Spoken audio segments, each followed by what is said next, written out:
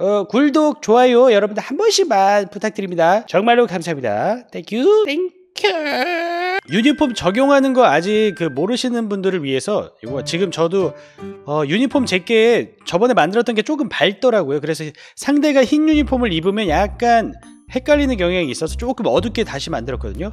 색깔만 어둡게. 자 여기서 편집. 자 우리 메인 메뉴 설정해서 편집으로 들어가서 어, 그 다음에 여기서 가져오기 내보내기를 누릅니다. 가져오기 내보내기. 이미지 데이터 가져오기. 자 USB를 제가 꽂아놨는데 이 USB에다가 어떻게 하느냐 USB를 일단은 어, FAT32로 포맷을 한 다음에 거기에다가 폴더를 WEPES라고 더블 에, 폴더를 만들고 나서 거기에다가 파일만 옮겨 놓으시면은 에, 옮겨 놓고 이제 플스에다 끼우면 이렇게 인식을 합니다. 여기서 유니폼 대. 딱 인식하죠. 여기서 어, 선택한 이미지 가져오기 해도 되고 모든 이미지 가져와도 되는데 저는 다른 것들도 있기 때문에 선택한 이미지 가져오기 하겠습니다. 가져와서 제가 좀 어둡게 한 게 있어요. 음, 어둡게 한 것들만 다시 불러와 볼게요. 네 다섯. 오케이 맞다. 이렇게 해서 확인. 이렇게 하면 불러와지는 거예요.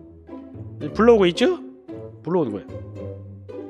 데이터 가져오기가 끝났습니다. 그렇죠 노엘님 안녕하세요 반갑습니다 오늘 아주 융단 폭격 융단 폭격을 예고하셨는데 기대됩니다 기대해주세요 자, 그 다음에 뒤로 가서 이제 팀으로 갑니다. 팀으로.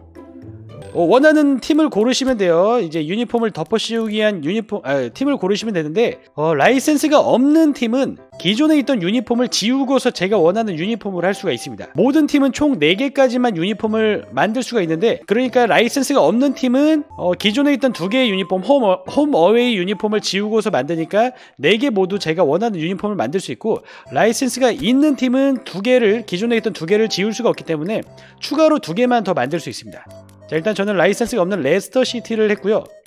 자 보시면은 어 요거 삭제를 하면은 두 개 삭제 되, 되 뭐야 아 팔로우 감사합니다.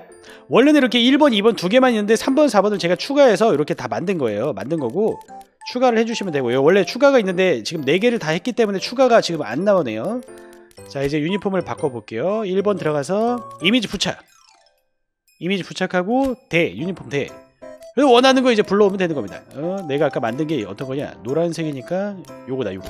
요게 제가 새로 만든 거 진한 거. 조금 진해졌죠? 별 다른 게 없네. 이거 된장 다시 만들어야 되나? 자 이렇게 하고 여기 마킹도 요런 거 요런 거 여러분들이 어, 하시면 되고 어, 이런 거 마, 마, 글씨체나 이런 거 크기나 이런 거 다 조절할 수 있고요. 그리고 기본 색상이 이게 미니맵에 보이는 색상입니다. 요거 꼭 설정해 주셔야 돼요. 미니맵. 자 요렇게 하시면 됩니다. 쉽죠? 김재민님 안녕하세요 반갑습니다. 이젠 자연스럽게 날강도로 말하네요. 그럼요. 날강도죠. 캐스터 진출 노그리. 에? 카메라 설정이랑 패스 레벨이 어떻게 되는지 저는 패스 레벨은 1이고요.